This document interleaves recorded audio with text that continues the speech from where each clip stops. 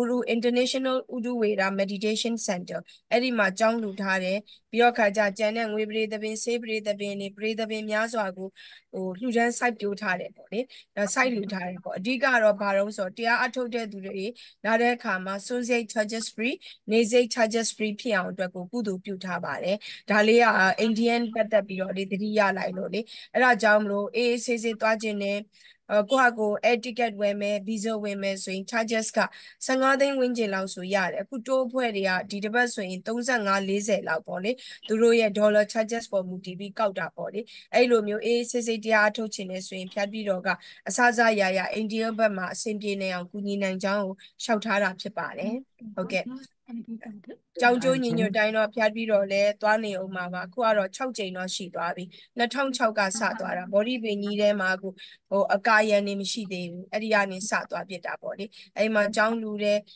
ကထိန်သွားလူတယ်ပြီးတော့ခါမနစ်တုံးကဆိုရင်အဲ့ကြီးကြီးကျယ်ကျယ်အနေနဲ့အတန်မဆဲပထမ်းပွဲကြီးသွားကျင်းပတယ်ပြီးတော့မနစ်တုံးအပားတထောင်ဝင်းကျင်ကိုသွားလူတယ်ကိုလူတဲ့နိုင်တာဒီဂျန်နဲ့ပကတနာဘာ branded မှမရှိကုသိုလ် brand တွေမျိုးစုံကိုပဲစုတယ်လို့ပဲပြောရမှာပေါ့ကုသိုလ် brand ကတော့မလူဘူးတဲ့နေရာမရှိအောင်စူးစမ်းတယ်ပေါ့လေအဲ့တော့ဆက်လင်းပြီးတော့ပြောတာပါဓမ္မနဲ့ဆက်နွယ်နေတဲ့သူတိုင်းဒီဒီနေ့နေ့တစ်ချိန်ချိန်မှာတော့ဂါယာမှာတရားအထုတ်ခြင်းနဲ့အကြောင်းကျိုးလေးတွေညီညွတ်လာတဲ့အဲစိတ်ကူးတွေပေါ်လာတဲ့အကောင့်ထဲပေါ်ခြင်းနဲ့ဆိုရင်ဒီကနေပြီးတော့လေလက်မှတ်ဝဲဗီဇာဝယ်သွားရုံပဲဟိုဘက်မှာလာကြိုပေးဖို့တရားစခန်းနေဖို့စားဖို့တောက်ဖို့အကုန်လုံးစီစဉ်ပေးနိုင်တယ်ဘာ charges မှမလိုဘူး ဘာ charges မှမလိုဘူးအေးဆေးဆေးသွားအထုတ်ရုံပဲဟုတ်ပြီနော်ဟိုမှာကျတော့3လထိနေလို့ရတယ်3လထိနေတကယ်လို့များတီလာရှင်ဝစ်ချင်နေဆိုရင်လည်းမပူနဲ့ဟိုမှာတီလာရှင်စာတင်တိုက်ကိုစအစပြိုးပြီးဖျားပြီးတော့လှူဒန်းထားတာရှိတယ်ဟိုမှာတီလာရှင်စာတင်တိုက်ခါရမှာလည်းရှိတယ်အဲ့တော့တီလာရှင်ဝစ်ချင်နေဆိုရင်လည်းမပူနဲ့ဖုံဖုံဝစ်ချင်နေဆိုရင်လည်းမပူနဲ့အဆဆရပေါ့လေဘလို့ကုသိုလ်မျိုးပဲမဆိုဂါယာမှာလှုပ်ချင်နေဆိုရင်တော့ကုညီပြစေဆိုပြီးတော့ရှောက်ထားခြင်းဖြစ်ပါတယ်ပြပြခြင်းဖြစ်ပါတယ် ဟုတ်ကဲ့ကျေးဇူးအများကြီးတင်ပါတယ်ပါဟုတ်ကောင်းတယ်ပါချင်းဟုတ်ကဲ့ဟုတ်အဲ့တော့ဒီနေ့ကတော့သင်တန်းရဲ့နောက်ဆုံးနေ့လေးပေါ့နော်အဲတကယ်လို့များဟိုပထမအပတ်ကပြောပြတယ်လို့ပေါ့ပေါ့လေအကြောင်းကျိုးလေးတွေညီတယ်ဆိုရင်တော့ ဗီဒီယိုကင်မရာလေးတွေဖွင့်ထားပေးပါမြင်ဘူးကြည့်ချင်ပါတယ်တကယ်လို့အကြောင်းကျိုးလေးမညီဘူးဆိုရင်လည်းကိစ္စမရှိပါဘူးအလုံးကတော့ဖျားပြီးတော့ယုံကြည်ပြီးသားပါမြမဘုံနဲ့နက်ဖီယာလာတဲ့သူတွေကြီးပဲဖြစ်မှာမလို့ချောချောလှလှလေးတွေနဲ့ကြက်တည်တွေနဲ့ပြည့်နေတယ်လို့ယုံကြည်ပါတယ်ဟုတ်ကဲ့ ရပြီးတော့လို့ဆိုရင်တော့ဓမ္မပြည်ကလာကြတာများတယ်ပေါ့ဟုတ်တယ်မလား single တွေလည်းဖြစ်တယ်ဓမ္မစာပေတွေလည်းများကြတယ်အဲဆရာကြီးတွေဆရာလေးတွေအဲအကုန်လုံးကတော့ဓမ္မဒီအတိုင်းဝိုင်းမှာဆုံတာတွေကတော့အကုန်ဓမ္မပုံသားကြီးပဲထင်ပါတယ်ဟုတ်ကဲ့နောက်တစ်ချိန်ချိန်မှာအပြင်မှာဆိုရင်လည်းခေါ်နိုင်ပါတယ်တကယ်လို့များမန္တလေးလာပြည့်လို့အကြောင်းကျိုးညီညွတ်တယ်ဆိုရင်လည်းဖုန်းလေးဆက်လိုက်ပါလာတွေ့ပါမယ် အဲဖျားဘူးတွေလည်းလိုက်ပို့ပေးမယ်အဲခင်ဗျားတို့အစားစာကြိုက်တဲ့အတွက်အစားစာတွေလည်းအများကြီးလိုက်ပြီးတော့ကြတော့ဝယ်ကျွေးမယ်နော်ကျဲကျေးဇူးတင်ပါတယ်ချေလာလဲတော့တင်ပါတယ်ဟုတ်ကဲ့ပါဟောအဲဆိုရင်ခင်တို့ဒီနေ့ကတော့ lesson အနေနဲ့ကတော့နောက်ဆုံးပိုင်းလေးပဲဖြစ်တယ်ပေါ့နော်တည်တင်တည်တိုက်တဲ့အချက်တွေမလို့ပြန်ပြီးတော့မျှဝေခြင်းဖြစ်တယ်အဓိကကတော့ကြိုင်တို့အဓိကဘာကိုလုပ်ရမှာလဲ religions နဲ့ပတ်သက်ပြီးဆိုရင်အဓိကတည်တင်တည်တိုက်တဲ့အကြောင်းချက်သည် ဘာကိုအဓိက emphasize လုပ်မလဲဆိုတော့က analytical က comparative ကကိုအဓိကအာယုံစိုက်ပါရေးရတာလည်းကြမ်းရေးတဲ့သူတွေအတွက်ကိုအဆင်ပြေနိုင်တယ်ပြီးတော့ခါကြတော့ကိုနဲ့လည်းနီးစပ်တဲ့ research process မျိုးလည်းဖြစ်တယ်ကျန်တဲ့ quantify ရကြ data run ရတဲ့အပိုင်းတွေပါတယ်အဲကျန်တဲ့ quality နဲ့သင်မဲ့ဟာလေးတွေရတယ် research နဲ့ပတ်သက်ပြီးတော့တည်တင်တည်တိုက်တဲ့အချက်တွေဖြစ်တဲ့ကြောင့် evaluative တို့ creative တို့အပိုင်းတွေပါမယ်เนาะအဲ့ဒီအပိုင်းလေးတွေပါမယ် research နဲ့ဘယ်မှာသူတေသနာစာတမ်းရေးတဲ့သူမှန်သမျှဒီဒီ research နဲ့ပတ်သက်တဲ့အချင်းချင်းပေါ့လေဒီဖြတ်ပြီးတော့မျှဝေသွားတဲ့အပိုင်းတွေကအားလုံးတော့ all complete ပြည့်စုံခြင်းမှပြည့်စုံမယ်သို့တော်လည်း research နဲ့ပတ်သက်တဲ့တည်တင်တည်တိုက်တဲ့အချက်တွေအားလုံးကိုတော့အဆင်ပြေနိုင်အောင်လို့မျှဝေပေးထားပါတယ်ဓမ္မသာလင်ကိုကအခြားသူမေးတယ်ဆိုရင်လည်းအော်ဒါဒီ performance ပဲဘလို့ပုံစံမျိုးလေးတွေရေးရမယ်ဆိုတာလေးကိုသိအောင်အတွက်ကိုပြောပြထားခြင်းဖြစ်ပါတယ်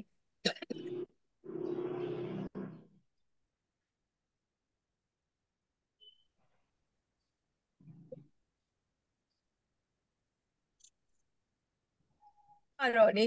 အဲဒီနေ့ပိုင်းတွေကပထမကတော့အားလုံး lesson plan ပြီးသွားပြီလို့ထင်တာပေါ့လေမနေ့ညမှ ည7နာရီခွဲလောက်ကမှကြည့်လိုက်တော့ခါကြတော့ lesson plan ကလေနည်းနည်းလိုနေတာကိုသိလိုက်ရတယ်เนาะညမှာလှုပ်လိုက်တယ်ပြီးတော့မနေ့ကလည်းစွန့်ချက်တာလောင်းတော့မိတယ်ဒါပေမဲ့လို့ကမန်းကရန်ဟို group ပေါ်မှာမတင်ပေးလိုက်ရအောင်ဒီနေ့နားထောင်ပြီးတော့ lesson plan လေးကိုတော့မတ်တနာရှိကို အမေကနေပို့ပေးလိုက်မယ် group ကနေပြီးတော့ပြန်ပြီးတော့ခါရ down ထားပေးပါเนาะအဲစိတ်ထဲမှာတော့ပြီးသွားပြီလို့ထင်တာဒီနေ့ကြမှာပဲည10နာရီလောက်ကြမှာပဲကိစ္စဝိစ္စတွေအားလုံးပြီးတော့မှကြည့်လိုက်တော့မှအော်လိုနေပါလားဆိုပြီးတော့ပြန်ဖြည့်ထားပါတယ်ပြန်ပြီးတော့တင်ပေးပါတယ်เนาะအဲ့တော့ ဒီနေ့ဟာဆိုရင်တော့အားလုံး research နဲ့ပတ်သက်တာတော်တော်များများတော့ဖြတ်ပြီးတော့ကတော့ခြုံငုံမိသွားမယ်လို့ထင်တယ် research ဆိုတဲ့သဘောတဘာဝတွေ research မှာဆိုရင်အမျိုးအစားအဓိကအားဖြင့် main အနေနဲ့ဆိုရင် quantity ပါမယ် quality ပါမယ် mix ပါမယ် quantity ဆိုရင်ဘယ်လိုသုံးမယ် quality ဆိုရင်ဘယ်လိုသုံးမယ် mix ဆိုရင်ဘယ်လိုသုံးမယ်အဲ့ဒီမှာဆိုရင် relating spine မှာဆိုရင် quality ကိုပို့ပြီးတော့ emphasize လုပ်ရမယ်ဘယ်လို approach တွေနဲ့ quality မှာဆိုရင်လည်းဘယ်လို type အမျိုးအစားတွေရှိတယ် proposal ဆိုရင်လည်းဘယ်လိုရေးရမယ် thesis ဆိုရင်လည်းဘယ်လိုရေးရမယ် proposal နဲ့ thesis ကကွဲပြားချက်တွေကိုလည်းလေ့လာခဲ့ပြီးပြီအဲ့ဒီမှာမှ quality ထဲမှာမှ relations အပိုင်းအနေနဲ့ analytical ဆိုရင်ဘယ်လိုရေးမယ် comparative ဆိုရင်ဘယ်လိုရေးမယ် comparative မှာဆိုရင်ရေးရတဲ့ pattern တွေကနည်းနည်းလေးသတိထားရတယ် block နဲ့ရေးမှာလား point point point နဲ့ရေးမှာလားအဲ့လိုလေးတွေပေါ့လေ research နဲ့ပတ်သက်တာလေးတော့ကကြ overall အနေနဲ့ပေါ့လေနှိုင်းနှိုင်းချွတ်ချွတ်ကြီးတော့မဟုတ်ဘူးအာအော်တည်တင်တည်ထိုက်တဲ့အကြောင်းချက်တွေတော်တော်များများကိုတော့ဖြတ်ပြီးတော့မျှဝေပြီးတော့ဟိုပြောမျှဝေပေးထားပါတယ်ပေါ့နော်အဲ့တော့ခါကြတော့ကိုက အဓိကတတိထားရမှာဒီကိုဘာရေးမှာလဲနံပါတ်1အရေးကြီးဆုံးကအချက်ဒီကိုရေးမဲ့ research နဲ့ပတ်သက်တာကိုရေးခန့်နီးမှာပြန်ဖတ်ပါ proposal ရေးမယ်ဆိုရင် proposal နဲ့ပတ်သက်တာကိုပြန်ဖတ်ပါအဲ့ဒီ rules and regulation အတိုင်းကိုကိုက်မကိုက်ကိုကြည့်ပါ thesis ရေးမယ်ဆိုရင် thesis format ကိုပြန်ကြည့်ပါကကိုက်မကိုက်ကိုသိရမယ်နောက်တစ်ခုကကို analytical နဲ့ရေးမှာလား comparative နဲ့ရေးမှာလားဘာနဲ့ရေးမှာလဲကိုရေးမဲ့ thesis နဲ့ကိုက်ညီတဲ့ lesson plan ကိုတခြားပြန်ဖတ်ပါပြန်ဖတ်ပြီးတော့မှပြင်ဆင်ပါဒါမှသာねကိုပြင်ဆင်ရတဲ့အခါမှာလဲ duration အနေနဲ့ time duration အနေနဲ့လည်းအဆင်ပြေနိုင်တယ်ပြီးတော့ခါကြလိုအပ်ချက်လည်းမရှိဘူးအဓိကကြတော့လေဖြတ်ပြီးတော့တို့ကလေ research ရေးတယ် research ရေးတယ်ဆိုကိုဒီအဓိကအားဖြင့် researcher တယောက်ဖြစ်တယ်လို့မျိုးပဲ academics academics မြင်ရမယ်ပေါ့လေ academic ဆိုတာကဟိုဘယ်လိုပြောမလို့ login နဲ့ပဲအရာဟိုဘွဲ့ဒီဘွဲ့တွေကိုပြောတာမဟုတ်ဘူးကိုလုပ်တဲ့လုပ်ငန်း ဒီပညာရက်ဆိုင်ရမယ်ပညာရှင်ဆိုင်ရမယ်ပညာရှင်တွေရဲ့လက်ခံနေတဲ့ thesis ပုံစံမျိုးဖြစ်ရမယ်ဘယ် university ကဘယ်သူပဲဖတ်ဖတ်ကိုယ့်ရဲ့ thesis ပုံစံဒီဟာ thesis format ကြပါလားသူရေးထားတဲ့ပုံစံဒီဘယ်လောက်ထိအားစိုက်ထားပါလားသူဒီဒီကျန်းတကျန်းနဲ့ပတ်သက်ပြီးတော့ literature တွေတော်တော်လုပ်ထားပါလားအဲ့ဒါတွေသိဖို့လိုတယ်ဒါကြောင့်မလို့အဓိကဒီ lesson တွေ research paper တွေလုပ်တဲ့အခါမှာ number 1 format ကြရမယ်အနည်းချုပ်လေးပြန်ပြောပြတာမေ့သွားမှာဆိုလို့ number 1 format ကြရမယ် format ကြရမယ်ဆို proposal မှာဆိုရင်သုံးခန်းပါရမယ် chapter ခွဲခြင်းခွဲမခွဲခြင်းနေဘာဖြစ်ရမလဲအဲသုံးခန်းနဲ့သက်ဆိုင်တဲ့ facts တွေပါရမယ် thesis မှာဆိုရင်၅ခန်းပါရမယ်အဲ့ဒီ၅ခန်းနဲ့ပတ်သက်တာတွေစုံညီရမယ်အဲ thesis မှာဆိုရင် chapter 1 intro chapter 5 conclusion chapter 2 3 4ဒီကိုဒီ relations နဲ့ရေးတာဖြစ်တဲ့အတွက်ကြောင့်မလို့ main body ကိုရေးချင်တဲ့အကြောင်းအရာနဲ့ဆက်နွယ်တဲ့ title တွေကိုခွဲရေးရုံပဲ literature review တီးသန့်ပါစရာမလိုပါဘူး research methodology တီးသန့်ပါစရာမလိုပါဘူး social science သမားမှသာလျှင် quantity နဲ့ရေးတဲ့သူမှဒါလျှင် literature review တည်တဲ့ um research methodology တည်တဲ့ပါစရာလိုပါတယ်။ဝဲပြချက်ကလေးတွေလည်းပြောပြပါပြီ။ဒါကြောင့်မလို့ research ရေးတဲ့သူဒီ format ကိုင်းညီရမယ်။ကို thesis ဒီ format ကိုင်းမကအရင်ကြည့်လိုက်တာနော်။ဟာ thesis ကတိတ်ကောင်းတာပဲလို့ပြောတာဒီဘာလဲ thesis format နဲ့ကိုင်းညီလို့ပဲ။ဟာ thesis ကြီးကပေါ်ပေါ်ရှော့ရှော့ကြီးလောက်ထားတာပဲအဆင်မပြေပါဘူး။ဘလို့ကြီးလောက်ထားမှမသိဘူးဆိုတာဘာကိုကြည့်ပြောတာလဲ format မကိုက်လို့ပြောတာဟုတ်ပြီနော်နံပါတ်1 format ကိုက်ရမယ် โอเคမမရေညီမလေးလေးဟိုပါလေးမိုက်မတက်ထားဘူးရှင်ဟုတ်ဘူးဒီချဲဟိုကအေးမိုးဖြူကမကြားရအောင်ဆိုလို့လေစောစောတုန်းကအတန်မရလို့ဟောအေးမိုးဖြူကိုပြောတာပါဆရာမဟောဟောဆရာမတန်ကြည်နေပါတယ်ကောင်းပါတယ်ကျေးဇူးပါဆရာမဟုတ်ကဲ့ဟုတ်ကဲ့ဟုတ်ကဲ့ကျေးဇူးပါရှင်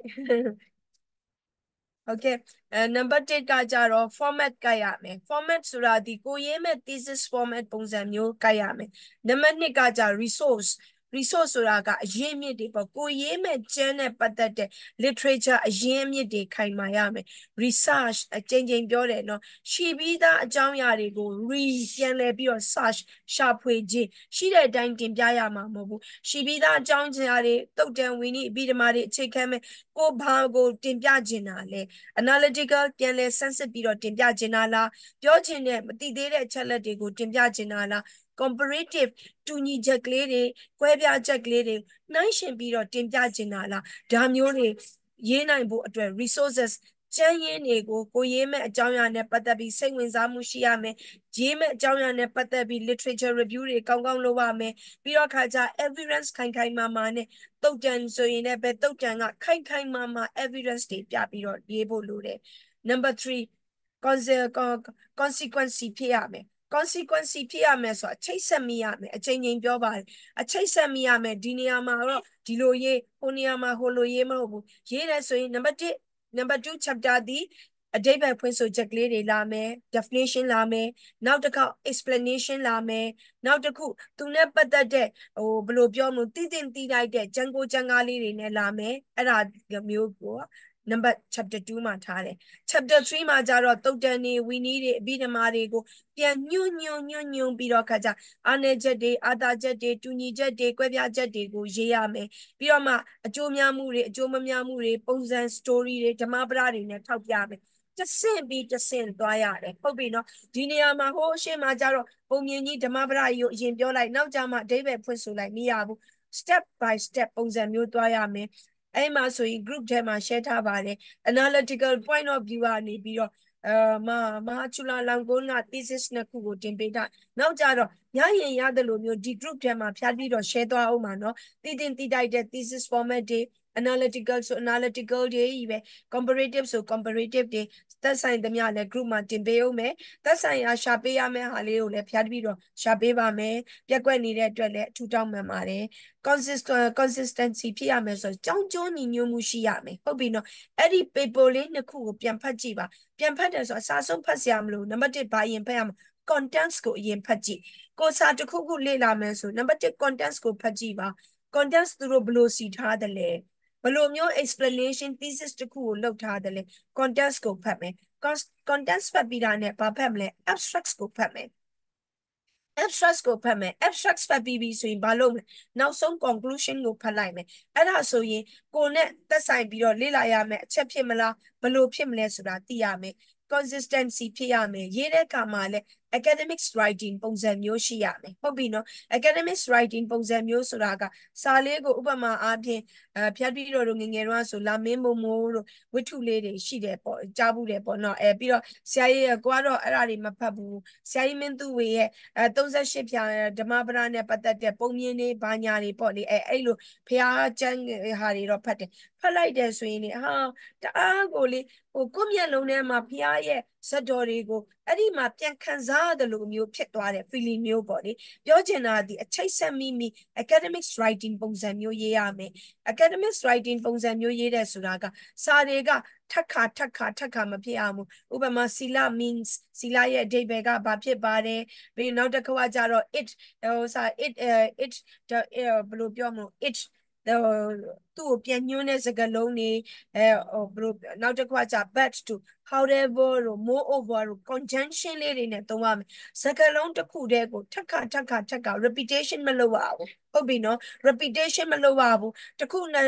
စာပိုင်းတစ်ပိုင်းမှာဆိုရင်စီလာဆိုရင်စီလာနဲ့ပတ်သက်တာနှစ်ခါတော့ပါရင်တော်ပြီသူ့ကိုကြတော့ပြန်ပြီးတော့ခါကျ pronounce အနေနဲ့အစားထိုး works အနေနဲ့သုံးရမယ်ပြီးတော့ခါ flow လေးနှအောင်အတွက် conjunction လေးတွေသုံးပေးရမယ် however တို့ but တို့နောက်တစ်ခုက moreover တို့ furthermore တို့ in addition တို့အဲအဲ့လိုမျိုးလေးတွေ works လေးတွေသုံးပြီးတော့မှလုပ်ပေးရမယ်နော်နောက်တစ်ခုကကြတော့အဓိက margin ကကိုကျန်းကိုကျန်းကလုပ်ပြီးပြီဆိုဘယ်ကျန်းတွေကယူထားတာလဲဆိုတာကိုသိအောင်အတွက်ကိုဘာလုပ်ရမှာလဲ folder ဆိုရင်လဲ ref folder အလုံးစုဒုတိယအတင်းနဲ့ကိုနဲ့သက်ဆိုင်တဲ့ဟာကိုတ folder အဲ့ဒီထဲကနေမှပြန်ဆွဲထုတ်ပြီးစု ငကောက30ရှိမယ်ကြိုက်တဲ့ဟာဖတ်ပြီးပြီး contents တွေ abstracts တွေ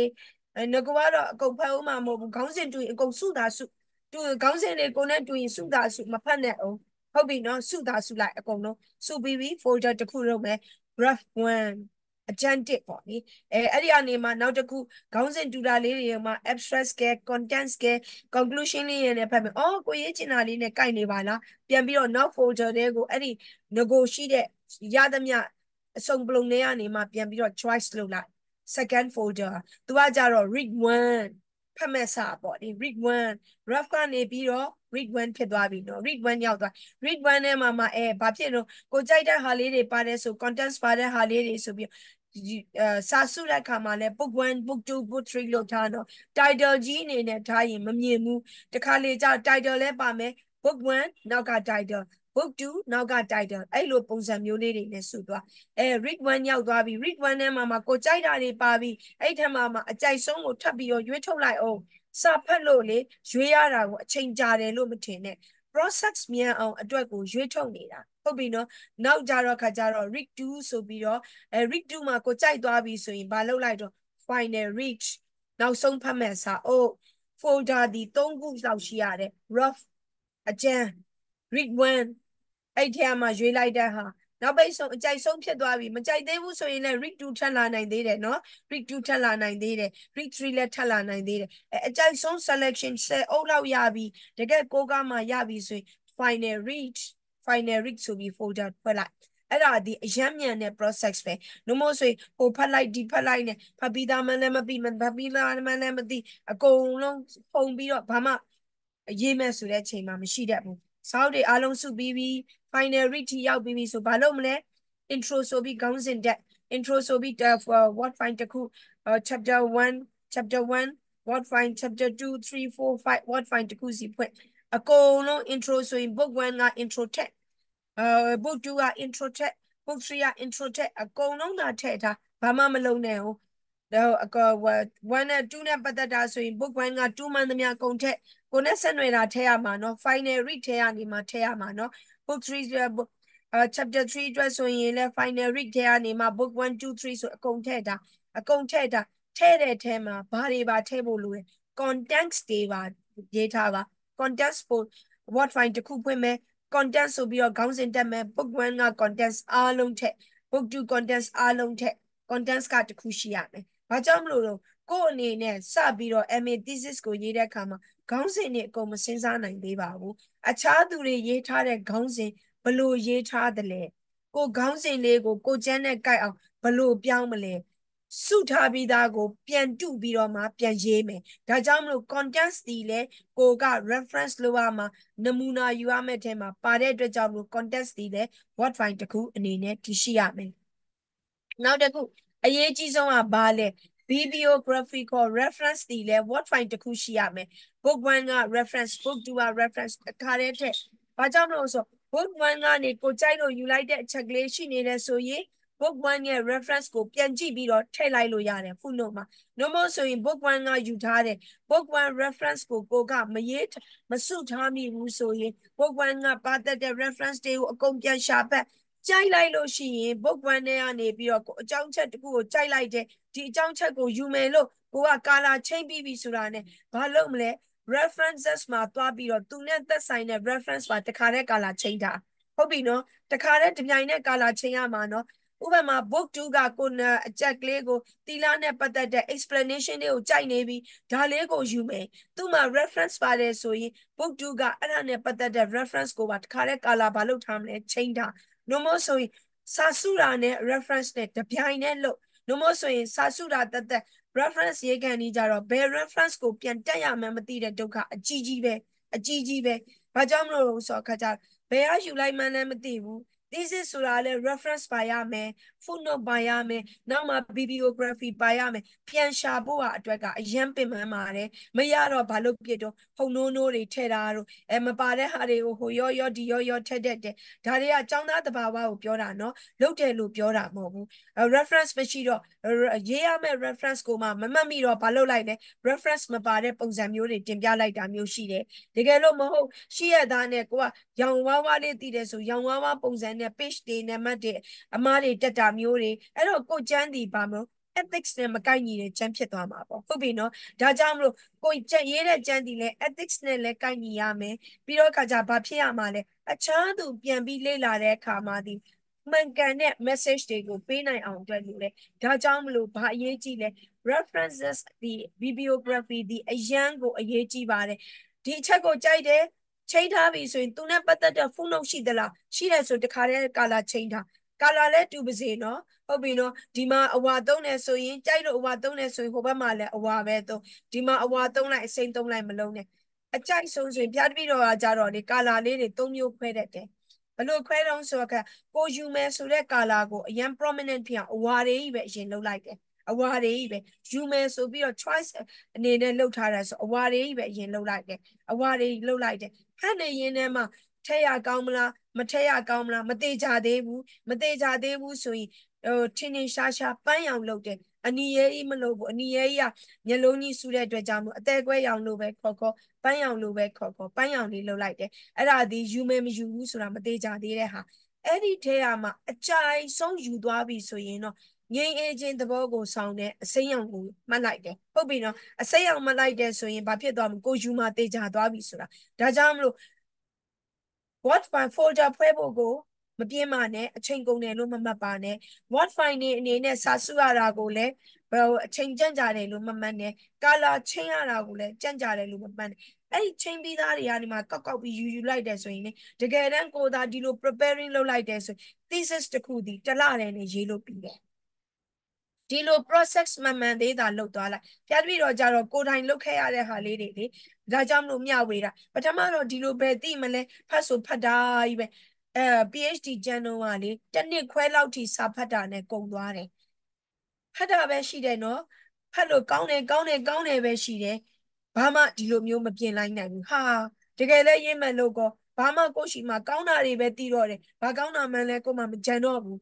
ဟုတ်ပြီနော်အဲ့တော့ဘာပြန်လို့ရလဲနောက်6လအတွင်းကဘာပြန်လို့ရဆိုကောင်းတယ်လို့ဖတ်တာတွေအသေးအတန်နင်းမအိမ်ညမအိမ်ပြန်ဖတ်ပြီးတော့မှကာလာတွေချိန်ပါချိန်အဲ့ဒါဒီဘဝနဲ့ရင်းပြီးတော့ရတဲ့ lesson မလို့ပြောပြတာဒါကြောင့်မလို့ color folder ဖွဲ့ဖို့ word file ဖွဲ့ဖို့အဲပြီးတော့ color တွေမှတ်ဖို့အတွက်ကိုမပြင်းနဲ့ color မှတ်တဲ့ခါမှာလည်းအကြိုက်ဆုံးဟိုလောက်ထားရင်အဲ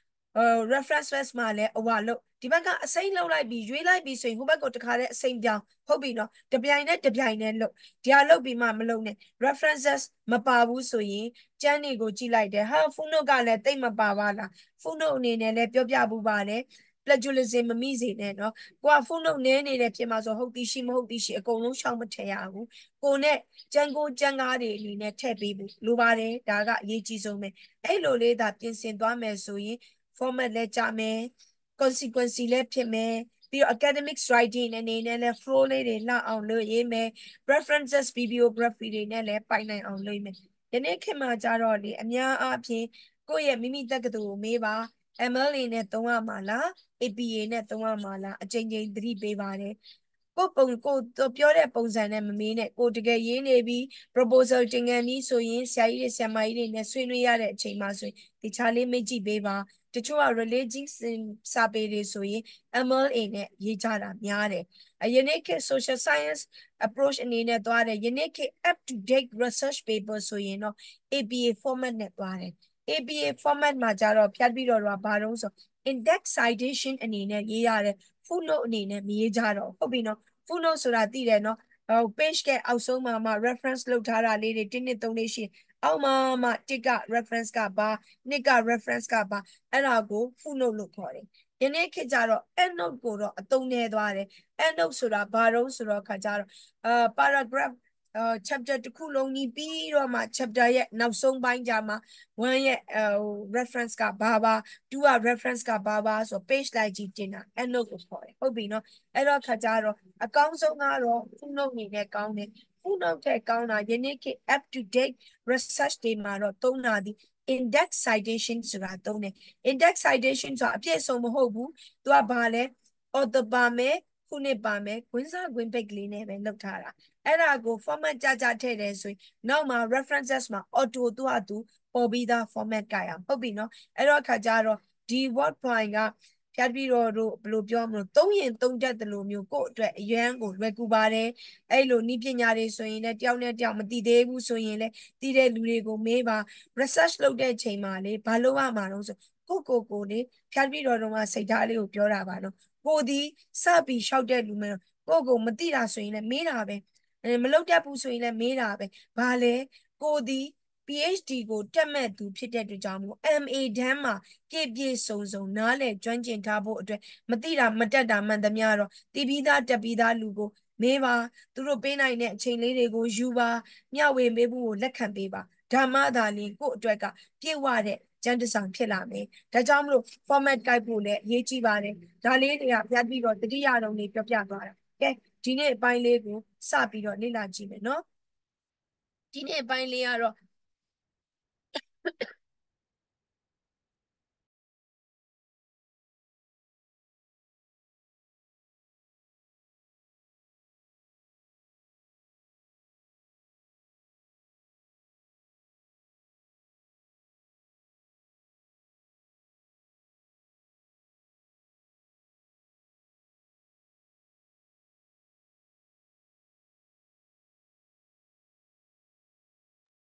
Okay. ဟုတ်ကဲ့ပြန်ပြီးတော့မျှဝေလိုက်တဲ့ဟိုဟာလေး word file လေးတွေ့ပါသလားဗျာ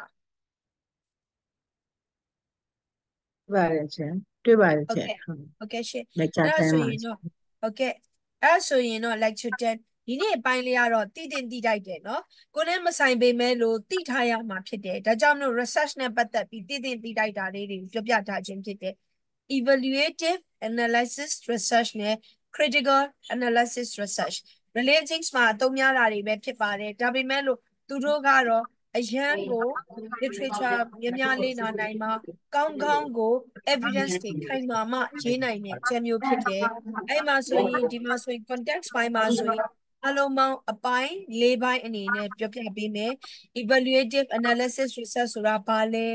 objective evaluative research တွေ format of evaluative research တွေ critical analysis research ဆိုပြီးတော့ပြောပြထားတယ်ကိုနဲ့မကိုက်ညီပေးပေမဲ့လို့သိထားဖို့လိုပါတယ်ကဲ evaluative လေးကိုကြည့်ရအောင် evaluative ကိုရေးတဲ့အခါမှာဆိုရင်လေအရင်ရေးကြည့်တာကဘာလဲအားနည်းချက်အားတာချက်တွေကိုစမ်းစစ်ပြရမှာဒါကြောင့်မလို့အားနည်းချက်အားတာချက်ဆိုတာ ဥပမာလူတယောက်တောင်မှဒီလူတယောက်ဒီအားနည်းချက်ပါရှိလဲအားတာချက်ပါရှိလဲတွန်းယုံတန်ယုံမသိနိုင်ပါဘူးအချိန်အများကြီးပေးရတယ်အများကြီးလေ့လာရဒီလိုမျိုးပဲ evaluative လုပ်မယ်ဆိုရင်တော့အားနည်းချက်အားတာချက်တွေကိုပြန်လဲစမ်းစစ်ဖို့အတွက်ကိုအချိန်များများလိုအပ်ပါတယ်စာပေနှံ့ဆက်မှုလိုအပ်တယ်ဒါလေးကိုတော့အထူးပြောပြခြင်းဖြစ်ပါတယ်အကြောင်းအရာတွေလုပ်ငန်းတွေစီမံကိန်းတွေဖွဲ့စည်းတင် जा မှုပုံစံတွေနဲ့ပတ်သက်တဲ့အားနည်းချက်အားသာချက်တွေကောင်းကျိုးတွေဆိုးကျိုးတွေ ဟိုဘယ်လိုပြောမလို့ဟာခွက်တွေအဲ့ဒါတွေကိုဖော်ပြတဲ့သူတေသနာဖြစ်တယ်ဥပမာအားဖြင့်ဖျားပြည်တော်တို့ရဲ့ relations နဲ့ပတ်သက်တဲ့ဟာမျိုးတွေကကြတော့ဘယ်လိုပြောမလို့ဘုရားဟောတရားကျမ်းတွေကကြတော့ evaluative လုပ်ဖို့အတွက်ကတော့နည်းနည်းခက်ခဲတယ်အကုန်လုံးက ပရမတ်ထတရားတွေပဲပြောထားတယ်ဆိုတာကကြအားနည်းချက်အာသာချက်ဆိုတာတဲ့ကိုပြန်ပြီးတော့ analyze လုပ်လို့ရတဲ့ပုံစံမျိုးတွေပဲရှိတယ်ဒါတွေကဘယ်လိုဟာမျိုးတွေဆို social science approach နဲ့သွားတဲ့ဟာမျိုးတွေပြီးတော့ခါကြတော့အားနည်းချက်အာသာချက်ဆိုခေတ်စနစ်တွေမှာရှိတဲ့ ပညာရေးစနစ်တွေကျန်းမာရေးစနစ်တွေနိုင်ငံရေးအုပ်ချုပ်မှုစနစ်တွေဒါမျိုးတွေနဲ့ပတ်သက်တဲ့ဟာမျိုးတွေရေးမသားလေးပို့ပြီးတော့အကျွမ်းဝင်တဲ့ social science approach မျိုးဖြစ်တယ်။ဒါကြောင့်မလို့သင်ကြားနည်းတွေလေ့လာမှုတွေကျန်းမာရေးစောင့်ရှောက်မှုတွေနဲ့ပတ်သက်ပြီးတော့ပြန်ပြီးတော့ရေးတဲ့ပုံစံမျိုးတွေခေတ်အပိုင်းခြားရ 90ခုနှစ်ကဘလို့2000ခုနှစ်ကဘလို့ပကံခေတ်ကဘလို့အင်းရခေတ်ကဘလို့ရတနာပုံခေတ်ကဘလို့အဲ့လိုမျိုး background history တွေတနည်းအားဖြင့်ဇေဒီပထိုးတွေမှာဆိုရင်လည်းဇေဒီပထိုးတွေရဲ့တိဆောက်ဟန်တွေကပကံခေတ်တုန်းကဘလို့ယနေ့ခေတ်မှာဘလို့အဲအဲ့လိုမျိုးတွေအားနည်းချက်အတာချက်တွေကိုဖော်ပြတဲ့အခါမျိုးမှာအသုံးပြုတယ် objective of evaluative research evaluative research က objective objective ကဘာအတွက်ကိုလဲဒီမှာလေးကြည့်ရအောင် to support the development of your uh, activities formal formative uh, evaluation မိမိတို့ရဲ့လုပ်ငန်းစဉ်တိုးတက်မှုစုပ်ယုပ်မှုအားနည်းချက်အားသာချက်တွေဖွံ့ဖြိုးတိုးတက်အောင်ကူညီထောက်ပံ့ပေးရအားနည်းချက်အားသာချက်တွေကိုပြောရဲဆိုတဲ့နောက် social science မှာဆိုရင်ပညာရေးစနစ်ဘုံဘုံတွေရဲ့ပညာရေးစနစ်ဒါမှမဟုတ်ဆရာလေးတွေရဲ့ပညာရေးစနစ်ကျန်းမာရေးစနစ်ဆိုအားနည်းချက်တွေကိုပြုပြင်ပြီးတော့အားသာချက်တွေဘလို့ဖြစ်နိုင်အောင် လုပ်မလဲဆိုတဲ့ဟာမျိုးအတွက်ဆိုရင် evaluative အနေနဲ့လုပ်တယ်နောက်တစ်ခုကကြ to ensure your message is better next time evaluation of your process တဲ့လက်ရှိအခြေအနေကိုသုံးသပ်ပြီးတော့အနာဂတ်တွင်ပုံမကောင်းမွန်တဲ့စီမံကိန်းတွေဆောင်ရွက်ရအတွက်ယနေ့ခေတ်လက်ရှိမှာတော့ဘလို့အခြေအနေတွေဖြစ်တယ်စီးပွားရေးနိုင်ငံရေးပညာရေးအခြေအနေတွေရှိတယ်ဘာတွေကြောင့်ဒီလိုအခြေအနေတွေဖြစ်ခဲ့တယ် ဘာတွေကိုသာပြုပြင်နိုင်မယ်ဆိုရင်နောက်အနာဂတ်မှာကောင်းတဲ့ဟာတွေဖြစ်နိုင်တယ်အနာဂတ်ကောင်းကျိုးအတွက်ကို research တွေလုပ်တဲ့နေရာတွေမှာအသုံးပြုတယ်ဟုတ်ပြီနော်အဓိကအားဖြင့်အဲဘလိုဟာမျိုးတွေမှာဆိုဖျားပြီးတော့ UNICEF ကဏ္ဍတွေဟုတ်ပြီနော်ဟိုဖွံ့ဖြိုးဆဲနိုင်ငံတွေရဲ့ကဏ္ဍတွေမှာဆိုရင်အဲ့ဒါတွေနဲ့ပတ်သက်တဲ့ research လုပ်တဲ့နေရာတွေမှာရှိတယ်အဲ UNICEF တို့နောက်တစ်ခုကကြတော့ဘလိုမျိုးတော့ project တွေနဲ့ပေါ့လေ project တွေနဲ့ပေါ့လေစီးပွားရေးတွေနဲ့ပတ်သက်တဲ့ project တွေအာကုန်သွယ်မှုတွေနဲ့ပတ်သက်တဲ့ project တွေစေဝါတွေကျမရေးတွေနဲ့ပတ်သက်တဲ့ project တွေယခုလက်ရှိမှာဘလို့ဖြစ်နေလဲကောင်းတာတွေဖြစ်နေလားဆိုးတာတွေဖြစ်နေဒီအကောင်းဆိုးတွေပေါ်မှာဝေဖန်ပြီးတော့အကောင်းတွေကိုဘာတွေပြုပြင်လိုက်ရင်ကောင်းမလဲဆိုတဲ့ကဏ္ဍတွေကိုပေါ်ဆောင်တဲ့အခါမှာဒီလို evaluative research paper မျိုးကိုရေးကြတယ်အဓိကအားဖြင့်ခုနကပြောတဲ့ UNICEF ကလိုမျိုး project ကြီးတွေမှာအသုံးပြုကြတာများတယ် to assess the final impacts of your activities summative evaluation လုပ်ငန်းတွေစီမံကိန်းတွေရဲ့အကျိုးသက်ရောက်မှုအခြေအနေကိုခြုံငုံသုံးသပ်တာတချို့ company တွေမှာဆိုရင်ရှိတယ်လေဘာတွေလဲ paper တွေရေးရတယ် assignment တွေရေးရတယ်အဲ့လိုမျိုးလေးတွေရှိတယ်ဟုတ်တက်ပြီးတော့ခဏလေးနော်ဟိုမီးပြတ်သွားလို့ခဏအပေါ်တက်လိုက်အောင်မယ်နော်အမ်ဘတ်တာလေးဖွင့်လိုက်အောင်မယ်တိုင်းကျသွားမှာဆိုနော်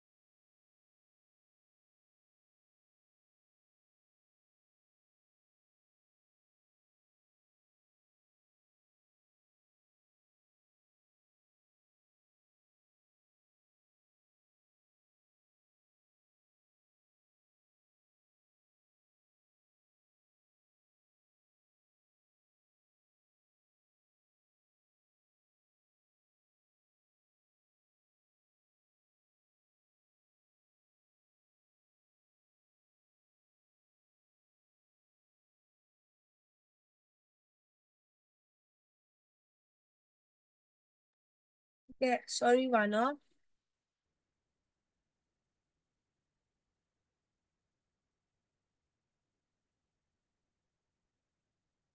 ဒါကြောင့်မလို့ evaluative နဲ့ပတ်သက်တဲ့ objective ဒီ project လုပ်ငန်းတွေပြီးတော့ခါ company တွေမှာ project လုပ်ပြီးတော့ကောင်းကျိုးတွေဆိုးကျိုးတွေတင်ပြတဲ့အခါမျိုးမှာဆိုရင် evaluative research ပုံစံမျိုး thesis မျိုးတွေရေးတာရှိတယ်စီးပွားရေးကဏ္ဍတွေမှာနောက်တစ်ခုကကြတော့အဲ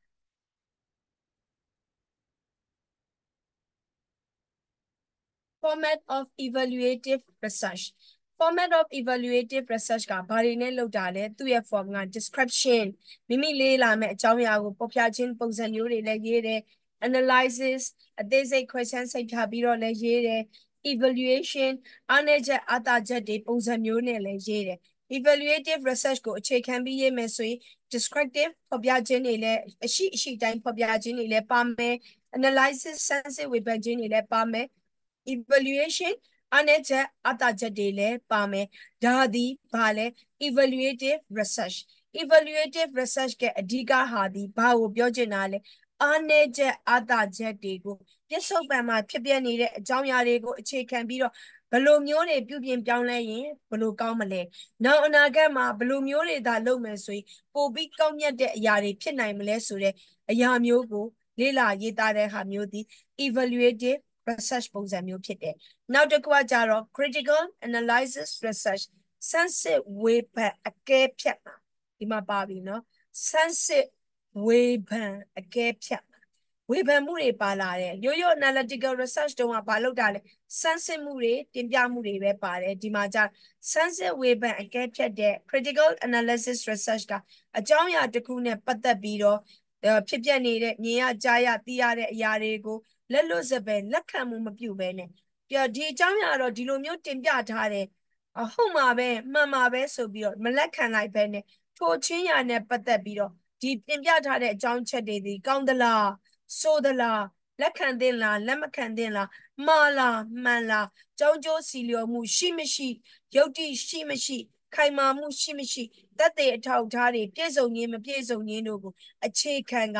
စမ်းစစ်ခြင်းကို ဘာလို့ခေါ်တာလဲ critical analysis research လို့ခေါ်တယ်မြတ်စွာဘုရားဟောကြားခဲ့တဲ့ပုံစံနဲ့တော့တူတူပဲပေါ့ဟာဒါဒီ researcher ဘယ်သူကရေးထားတာပဲမှန်ပါပဲဟာဒါကတော့ဟုတ်မှာပဲအဲ့လိုမဟုတ်ဘူးဘာလဲ critical analysis research ကတင်ပြခြင်းတဲ့အကြောင်းအရာတစ်ချက်ကိုအခြားသူတင်ပြပြီးတဲ့အကြောင်းအရာပဲဖြစ်ဖြစ်အာကိုတင်ပြခြင်းတဲ့အကြောင်းအရာပဲဖြစ်ဖြစ် evidence သက်သေအခိုင်အမာနဲ့ပြီးတော့ခါကြကောင်းတယ်မကောင်းဘူးဟိုအားနည်းချက်အာသာချက်တွေအဲ့ဒါတွေကိုအပြန်ပြန်အလန်လန်စမ်းစစ်ဝေဖန်ပြီးမှရေးတဲ့ research မျိုးဒီပါလဲ critical analysis research အခြား paper အခြား researcher တွေရေးတဲ့စာတွေကိုလည်းပြန်လည်စမ်းစစ်ဝေဖန်ပြီးတော့ research မျိုးလုပ်လို့ရပါတယ်ဒါသည်အရန်ကို စာပေလဲနှံ့ဆက်ရမယ်ပြီးတော့အခြားသူတွေလည်းရေးသားတင်ပြထားတဲ့ပုံစံတွေကိုလည်းဖတ်ရှုပြီးမှဒီလို research မျိုးကရေးနိုင်ပါတယ် to analyze and examine sometimes something wrong or right local or illocal or acceptable or unacceptable ဒီမှာပြပြထားပြီလေကောင်းသလားဆိုသလားလက်ခံသလားမလက်ခံသလားစီလျော်မှုရှိမရှိပေါ်မှာမူတည်ပြီးတော့မှ ရေးရတဲ့ research မျိုးကို critical analysis research အခြားသူကို blame လုပ်တာမဟုတ်ဘူးเนาะပြန်လည်ပြီးအခြားသူတင်ပြထားတဲ့ဟာကိုပြန်ပြီးတော့စမ်းစစ်တာဟာဒီရေးထားတဲ့ paper ကတော့ဟုတ်ပါပြီကောင်းတယ်လို့လူတွေကပြောကြတယ်ဖတ်ကြည့်လိုက်တယ်ဟုတ်ပါပြီကောင်းတာတော့ကောင်းတယ်ဒါပေမဲ့လို့သူရေးထားတဲ့အချက်ကလက်တွေ့မှာကောအကျိုးများသင့်လားလက်ခံသင့်လားမလက်ခံသင့်လားဒီအကြောင်းအရာချက်နဲ့ပတ်သက်ပြီးတတိတွေရောခိုင်မာရဲ့လားဒါတွေကိုပြန်လည်ဆန်းစစ်ပြီးသူ့မှာ အားနည်းချက်အာသာချက်တွေရှိတယ်ဒီလို paper မျိုးကိုကိုကအားနည်းချက်ကိုကိုဖြေပြောက်ပြီးတော့အာသာချက်တွေဖြစ်အောင်ပြန်အသုံးပြုနိုင်တဲ့ပုံစံမျိုးတွေဖြစ်အောင်ပြန်ပြီးတော့ရေးနိုင်တဲ့ research မျိုးလည်းဖြစ်တယ်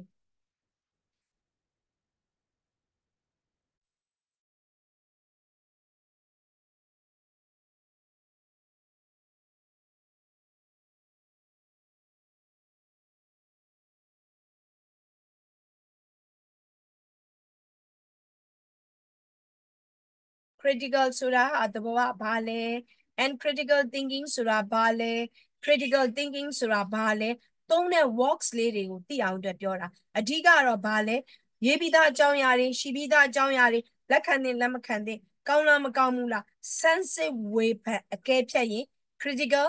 analysis research ဒါလေးသိထားဖို့လိုတယ်ဟာလူများကပြောတယ်ဟာ critical analysis နဲ့ရေးမှာ ဟုတ်ပါပြီ critical analysis နဲ့ရေးမယ်ဆိုဘယ်လိုရေးမှာလဲကိုကပြန်ပြီးတော့မေးလို့ရပြီအတူအဆန်းစစ်ဝေဖန်မှုတွေမပေါ့အခိုင်မာမှုတွေမပေါ့ဒါဆိုရင်မကြိုက်သေးဘူးနော် critical ဆိုရင်ဘလို့အချက်တွေပါမှ critical နဲ့ကြိုက်ညီမှာအဲကွာ advice ပေးနိုင်တယ်နောက်တစ်ခုသူ့ရဲ့ purpose ကဘာတွေရှိမလဲ critical analysis က purpose ကဘာတွေရှိမလဲဟောကြည့်ရအောင်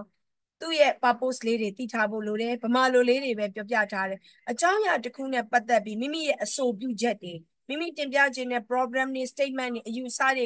မှန်ကန်ကြောင်းတတ်သိအထောက်ထားတွေနဲ့ပြရမယ်တတ်တရားအများနည်းနည်းလေးမရဘူးเนาะအများကြီးဗတ်ပေါင်းစုံကနေမှတင်ပြနိုင်ရမယ်အခြားပညာရှင်တွေရဲ့အဆိုပြုချက်တွေဒါမှမဟုတ်အခြားသောသူတေတီတွေရေးသားထားတဲ့စာဆောင်တွေ journal တွေရဲ့ပါတဲ့အချက်တွေဒီကြောင်းကျိုးစီလျော်မှုရှိရဲ့လားဆန်းစစ်ဝေဖန်ပြီးတော့၎င်းတို့ရဲ့လှုပ်ဆောင်ချက်အယူဆတွေကို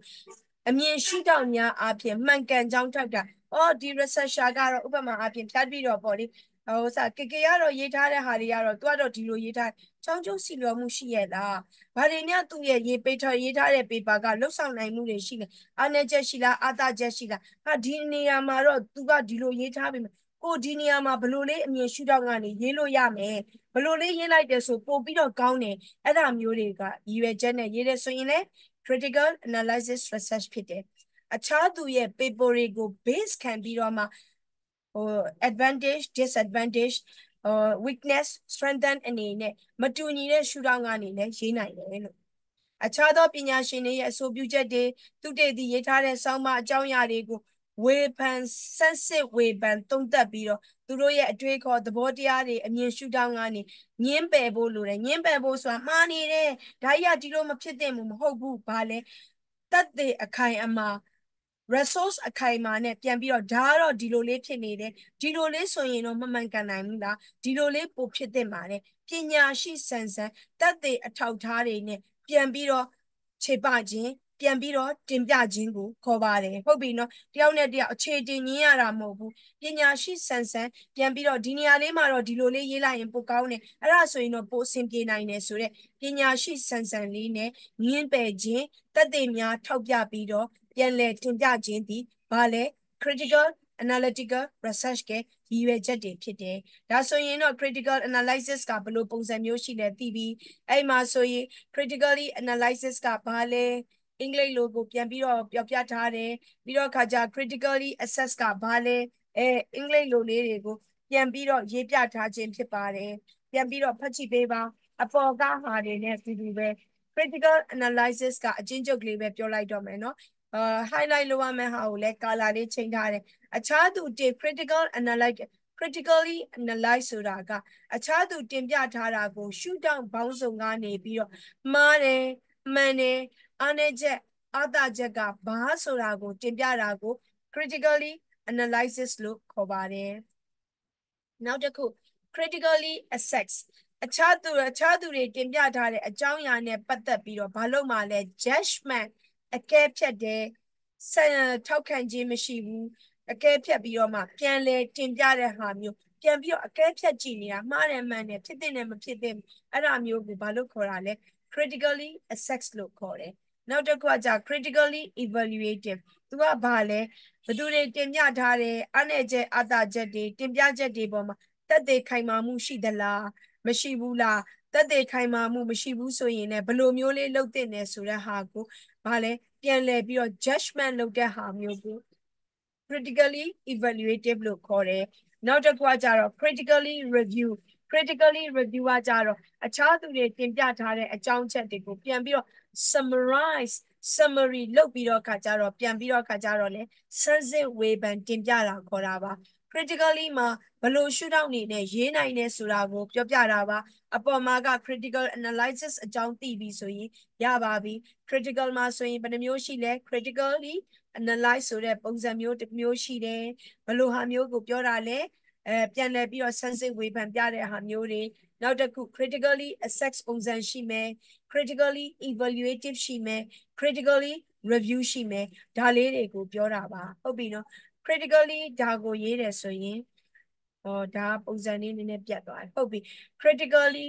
analysis လုပ်မယ်ဆိုရင် argument argument ဆိုတာညင်းဆိုတာဘာလဲတက်တဲ့အထောက်ထားတွေနဲ့ပြန်လည်တင်ပြခြင်းဘာတွေနဲ့လဲ reason အကြောင်းပြချက်တွေကိုအသုံးပြုပြီးတော့ပြန်လည်တင်ပြမယ်ဘာတွေနဲ့လဲ evidence သက်သေထောက်ထားတွေနဲ့ပြန်လည်တင်ပြမယ်ပြန်လည်တင်ပြပြီးမှဘာဖြစ်မှာလဲ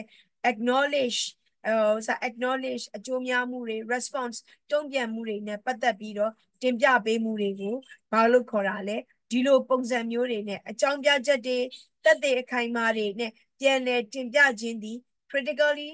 analysis ကပုံစံဖြစ်တယ်ပြီးတော့မှနောက်ပိတ်ဆုံးကြမှာ conclusion အနစ်ချုပ်ပြီးတော့တင်ပြရမှာဖြစ်ပါတယ်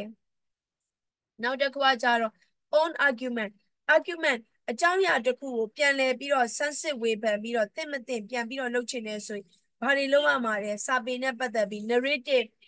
သူ့ရဲ့ background အကြောင်းအရာတွေပြန်ဖတ်မယ်ပြန်ဖတ်ပြီးတော့ descriptive ကိုဖော်ပြခြင်းနဲ့ရှုထောင့်ကနေပြန်ပြီးတော့ describe လုပ်မယ်ပြီးတော့ analytical ပြန်လည်ဆန်းစစ်မယ်ပြီးတော့ evaluative အားနည်းချက်အသာချက်တွေကိုပြန်လည်ပြီးတော့ဆန်းစစ်ဝေဖန်အကဲဖြတ်မယ်ပြီးတော့မှ conclusion အနည်းချုပ်မယ် evaluative uh, critically evaluative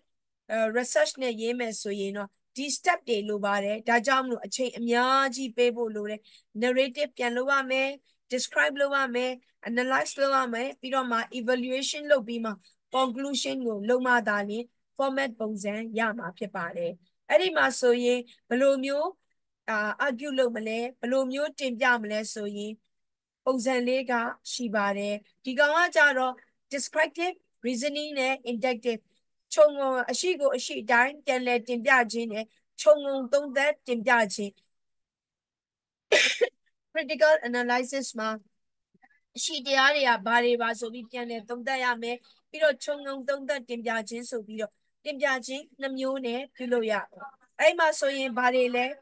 ဘလို့တင်ပြမှာလဲမိမိတင်ပြခြင်းနဲ့အကြောင်းအရာ statement တွေ claim ပြန်လည်ခြေပခြင်းနဲ့အငင်းဆိုခြင်းနဲ့ opinion တွေကိုဘလို့ပုံစံမျိုးတွေနဲ့တင်ပြရမလဲ critical analysis လုပ်မဲ့သူတွေဒီအချက်တွေနဲ့ပြည့်စုံဖို့လိုအပ်ပါတယ်ဒါမှသာနေမိမိကျန်းသည့် critical ပုံစံနဲ့ကိုက်ညီမှာအတီအနှင်းပြောဆိုခြင်းတွေနဲ့အဆိုပြုချက်တွေပြန်လည်တင်ပြရမယ် definition တွေလူများဒီလိုဖွင့်တာဒီလိုဖွင့်ပြန်ဖွင့်မယ်ပြန်ပြီးတော့အဆိုတွေတင်ပြမယ်အတိအလင်း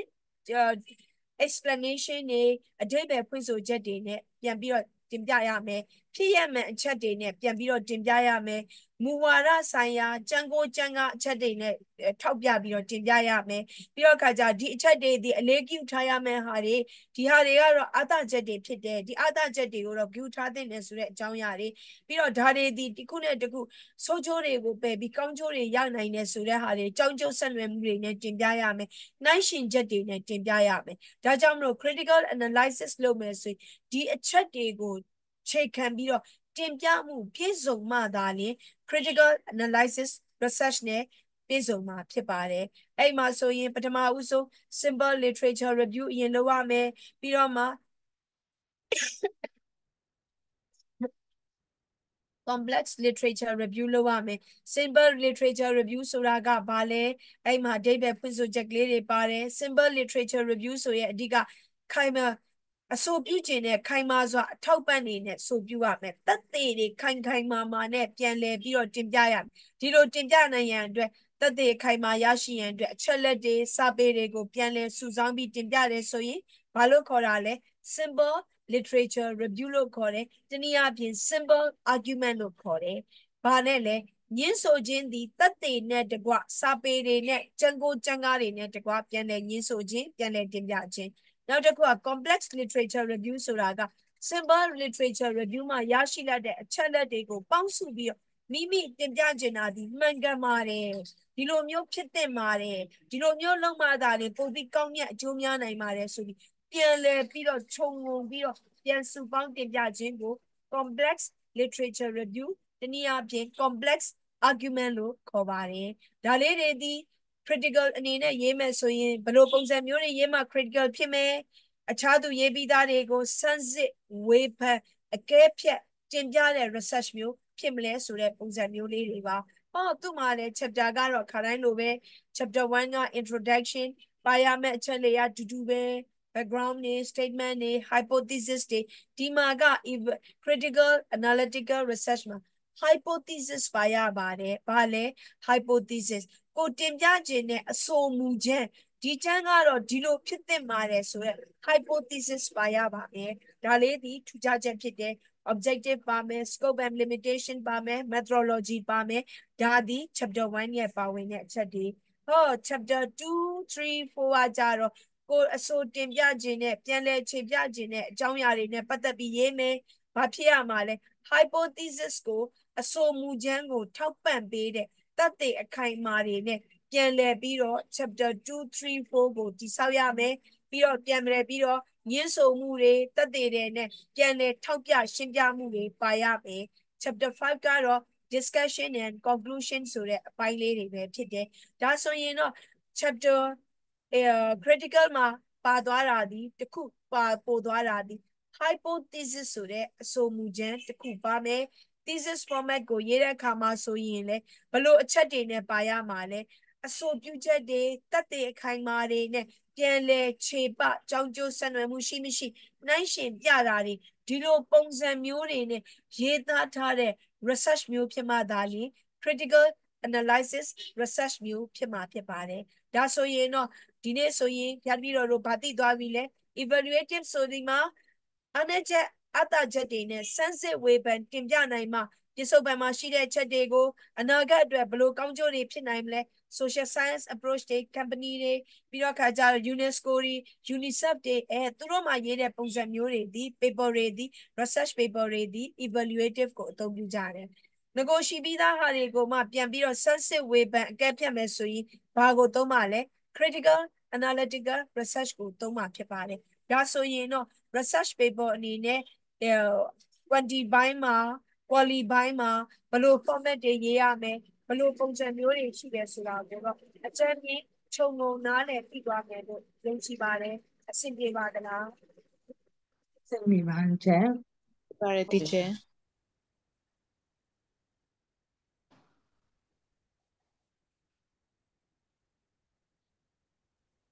ဒါလေးတွေကတော့ဖတ်ကြည့်ထားဖို့လိုတယ်နော်ကိုဒီ ကိုရေးမှန်ကျမ်းကိုတော့ပိုင်နိုင်ရမယ်ဒါလေးတွေလည်းသိထားတယ်ဆိုရင်အခြားသူရေးတဲ့အခါမှာဆိုကို idea မပေးနိုင်ဘူးလား evaluative နဲ့ရေးမှာဟာဟုတ်ပြီဘာအားနဲ့ချက်အာသာချက်ကလေးတွေနဲ့ပြင်ပြမှာလဲသူ့ကိုမေးလိုက်ဟာမပါပါဘူးဒီတိုင်းပဲအားနဲ့ချက်အာသာချက်အဲ့ဒါဆို evaluative မဖြစ်ဘူးနော် evaluative ဆိုတာအားနဲ့ချက်အာသာချက်တွေနဲ့လက်ရှိဖြစ်ဖြစ်နေတာနဲ့နောက်အနာဂတ်ကာတွေကိုပြန်ပြီးတော့ရေးနိုင်တဲ့ဟာမျိုးဖြစ်ရမယ် critical ဆိုရင်တော့ဘလို့ပုံစံမျိုးတွေတက်သိခိုင်မာတွေများများထောက်ပြရမယ်နော်အဲအဲ့ဒါမျိုးလေးတွေကိုက idea ပေးနိုင်တယ်ဒါကြောင့်မလို့ကိုကိုကို researcher thesis ရေးမဲ့သူဒီကိုဘာကိုသုံးမလဲ decision ချပါတော့ဟုတ်ပြီနော် research process အနေနဲ့ခြုံငုံပြီးတော့တည်သွားပြီးပြီကိုဒီ analytical အနေနဲ့ရေးနိုင်သလားအကြောင်းအရာတွေကိုပြန်လည်ဆန်းစစ်ပြီးတော့တင်ပြမယ်အဲ့ပုံစံမျိုးရေးနိုင်သလား comparative ဟိုဘယ်လိုပြောမလဲနိုင်ရှင်ပြီးတော့ တင်ပြမလားဘယ်လိုပုံစံမျိုးရေးမလဲဆိုတာကတော့ဒီရက်ပိုင်းမှာစပြီးတော့ decision ချပါတော့ decision ချမယ်ချပြီးပြီဆိုတာနဲ့ဘာလို့မလဲအဲ့ဒီရေးမှတ်တိုက်တဲ့အချိန်ချင်းပြောတယ်နော်ကိုကိုတိုင်စိတ်ဝင်စားပြီးကိုကိုတိုင်နှက်ဆက်တဲ့ title မျိုးဖြစ်ဖို့ကအဓိကအရေးကြီးတယ်ကိုမစိတ်ဝင်စားရင်ကိုကျန်းကြီးကိုဘလို့အကောင်းဆုံးလုပ်မှာလဲဟုတ်ပြီနော် ကိုကြိုက်တဲ့အင်ကြီးလေးဝင်မှာကိုကိုကိုတစ်သက်သဘောကြတာပေါ့ဟုတ်တယ်မလားကိုကြိုက်တဲ့အင်ကြီးလေးမှာမဝင်ထားဘူးဆိုရင်ကိုကိုကိုမမ confidence မရှိဘူးဆိုရင်အခြားသူကလည်းကိုကိုကိုကြည့်ရှုရတာအဆင်ပြေမှာမဟုတ်ဘူးအဲ့ဒီလိုမျိုးပဲနံပါတ်1 title choice ကိုမမားပါစေနဲ့ title choice မှန်ကန်ပါစေနံပါတ်2ရေးတဲ့ title တိုင်းကိုလည်းကိုဒီရှာဖတ်နိုင်တဲ့အခြေအနေရှိသလားကိုနဲ့နီးစပ်နိုင်တဲ့အခြေအနေရှိလားစာရှာရလွယ်သလားဖြစ်ဖို့လိုပါတယ်နံပါတ်3 ဘာဖြစ်ရမှာလဲကိုရေးတဲ့ဟာဒီ method ကိုကောင်းကောင်းရွေးချယ်ပါ analytical လား comparative လား evaluative လား critical လားဘယ် method approach နဲ့သွားမှာလဲဆုံးဖြတ်ဖို့လိုပါတယ်ပြီးပြီဆိုတာနဲ့ဘာလို့မလဲသက်ဆိုင်ရာ title စဉ်းစားမိပြီဒီသုံးချက် title ရဲ့ဟိုစာပါ resources တွေရဲ့ method ရဲ့စဉ်းစားပြီးပြီဆိုတာနဲ့ရှာတော့ရှာတော့စာတွေရှာတော့ တော်တော်များများလဲရှာပြီးလေ့လာပြီးသားလို့ယုံကြည်တယ်ဖြတ်ပြီးတော့ကဟိုတတိပေးတာနော်ဘာကြောင့်မလို့ဆိုတော့တကယ်တမ်းရေးပြီးဆိုရင်လေအချိန်ကခဏပဲဖြစ်သွားတာရှာရတာပြင်ရတာဆင်ရတာကြားတယ်ဒါကြောင့်ပြင်ဆင်ချိန်ကိုအချိန်မနှမျောနဲ့အားရင်အားသလိုလို့ဖြတ်ပြီးတော့ MA PhD လုပ်တော့ဖြတ်ပြီးတော့ရဲ့စာကြည့်ချိန်ပြီးဘယ်ချိန်မှရှိအောင်ဆိုည10နာရီကနေည1နာရီထိပဲစာကြည့်ချိန်ရှိတယ်အဲပြောချင်တာကဘာလို့အားပေးတာ ဟုတ်ပြီနော်ဒီလိုမျိုးညာပိုင်းလေးပဲလှုပ်သွားရင်ပုံမှန်လှုပ်ပုံမှန်လို့တနေ့တနေ့ကိုကိုဘယ်ချိန်ကိုစာလုပ်မလဲအားတဲ့ချိန်လေးမှာစာရှာလိုက်မလားစာစုလိုက်မလားကိုကိုကို lesson ဘယ်လိုပြောမလို့ time ကို arrangement လုပ်ထားကြပြီးတော့ဆိုည10နာရီဘလောက်အိတ်ချိန်ကြီးမျက်နှာတွေထားတစ်တယ်ဟုတ်ပြီနော်တမယာရည်တွေဖြော်ထားတယ် coffee တော့တိတ်မတော့တမယာရည်တွေဖြော်ထားရှောက်သီးဆေးပြားတွေဖြော်ထားတယ်ရှောက်သီးတွေနဲ့စာတမယာသီးတွေနဲ့ပါဇက်တမ်းမှာငုံပြီးတော့စာတွေရှာပြုတ်ပြဲပြီးတော့ဟုတ်ပြီနော် ကိုလုံးမဲ့အချိန်ကိုအမြဲတမ်းပဲပုံမှန်လုပ်သွားရပြီးတော့ဆိုည10နာရီကနေတနာရီနေ့တိုင်းလုပ်တယ် မနေ့ဆိုရင်9နာရီထားတာကိုနေ့လယ်ပိုင်းကျတော့အားတဲ့အချိန်ဆိုရင်တော့ခဏတစ်ဖြုတ်9မိနစ်10မိနစ်လဲတယ်ပြရနဲ့စာရှာနံပါတ်1စာများများရှာထားဖို့လိုတယ်ဖြတ်ပြီးတော့လည်းခုရှာပေးမယ်ဟုတ်ပြီနော်ဒီစားတဲ့ပို့ထားတဲ့ title တွေလည်းရှာပေးနိုင်ပါပြီပြီးတော့ကတကယ်လို့ထပ်လို့ခြင်းသေးတယ်ရှားတာခက်တယ်ဆိုရင်လည်းပို့ထားပေးပါတစင်ပြီးတစင်အလုံးကိုရှာပြီးတော့ကျေးဇူးဆက်ချင်ပါတယ်စာများများရှာပါရှာပြီးပြီဆိုတာနဲ့ဘာလို့မ folder တွေ folder တွေ word file တွေ word file တွေတခါတည်းစုတခါတည်း color တွေချိန်တာ အားလုံးပြင်ဆင်ပြီးပြီဆိုတဲ့ချိန်မှာကိုကဘာတော့တကယ်ကိုလည်းစာတွေဖတ်ပြီးပြီအားလုံးလည်းပြင်ဆင်ပြီးပြီ format တွေလည်းကြပြီဆိုတာနဲ့ဘာလို့လို့ရပြီလဲ proposal တင်ရမယ့်အတွက်က ready ဖြစ်သွားပြီ proposal ဘယ်လိုတင်ရမလဲသိပြီပြီးတော့ proposal တောင်တင်ပြီးပြီဆိုတဲ့နောက်တော့ကိုရှိမှာအများကြီးအချက်လက်တွေစုဆောင်းပြီးသားဖြစ်တာ thesis အတွက်က easy ဖြစ်သွားပြီဟုတ်ပြီနော်ဘယ်လိုရှာရမလဲဘယ်လိုလုပ်ရမလဲဆိုတဲ့လုပ်ငန်းစဉ်တွေကိုကိုရိအနေနဲ့အများကြီးပြောပြထားတယ်တကယ်လို့များဒီကြားထဲမှာသိကျင်တာတွေရှိတယ်ဆိုရင်အချိန်မီ warmly welcome အဓိကအားဖြင့်ကျေးဇူးဆက်ချင်ပါတယ်ဘာကြောင့်လို့ဆိုတော့ကျန်းတဆောင်ပြုတ်သွားပြီးသွားပြီဆိုရင်လေကျန်းရေးပြီးတဲ့သူကတိတ်သဘောကျကိုကျန်းလေးကိုလေဟိုစာကိုရင်ကထုတ်လိုက်တဲ့စာအုပ်ကလေးဆိုရင်ဖတ်ဖတ်ထားပြန်ပြီးတော့ပြောတာဒီဒီကျန်းရေးပြီးသွားရင်အဲ့ဒီ feeling မျိုးရလိမ့်မယ်ကိုကတော့ဟိုစာဘယ်လိုပြောမလို့ဟုတ်မှဟုတ်ပါမလားဆိုတဲ့ခံစားချက်ဖြစ်လိမ့်မယ်တကယ်ကိုကိုယ်တိုင်အားစိုက်ထားတဲ့သူနဲ့အားမစိုက်ဖဲနဲ့ အော်တချို့တွေမှာဆိုရင်ရှိတယ်ပေါ့လေဗမာနိုင်ငံမှာတော့ရှားပါတယ်တချို့ Indian band မှာဆိုရင်အချိန်မရတော့တော့၎င်းအကြောင်းမျိုးမျိုးကြောင့်တော့၎င်း title တွေကိုဝယ်ပြီးတော့ရေးကြ title တွေဝယ်တယ်အစာတွေရေးပြီးသားတွေဝယ်လိုက်တယ်အနှစ်သာရမရှိကိုဒီဘာလဲကျန်းရေးတယ်ဆိုတာကိုရေးမဲ့ကျန်းနဲ့ပတ်သက်တဲ့အကြောင်းအရာဖျားဟောကျမ်းတွေကိုထဲထဲဝင်ဝင်လေ့လာခြင်းလို့ကျမ်းပြုစုခြင်းဖြစ်တယ်အဲ့ဒီခံယူချက်ရှိရမယ် ကိုဘာလေးပဲလေ့လာလေ့လာဖျားဟောတရားကျမ်းတွေလောကမှာအသုံးပြုနိုင်တဲ့အရာတွေကိုလေ့လာတာဖြစ်တဲ့အတွက်ကြောင့်မို့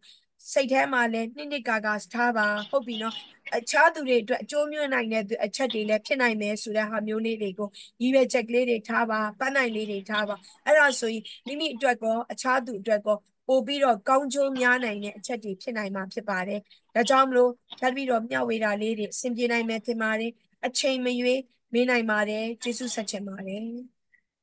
ကျေးဇူးများတင်ပါတယ်။ဘာလေးများပြောပြခြင်းသေးလဲ။သင်ပေးထားခဲ့တဲ့ဒီ lesson ပေါ့လေလေးပတ်လို့ပြောပေမဲ့လို့အကြောင်းကျိုးလေးတွေမညီညွတ်လို့စိတ်နှောက်ယှက်ကလေးတွေများဖြစ်သွားရင်အမှားယွင်းလေးများပါသွားတယ်ဆိုရင်လည်းနားလည်ခွင့်လို့ရရင်အတွက်အနုညွတ်တောင်းပန်ပါတယ်။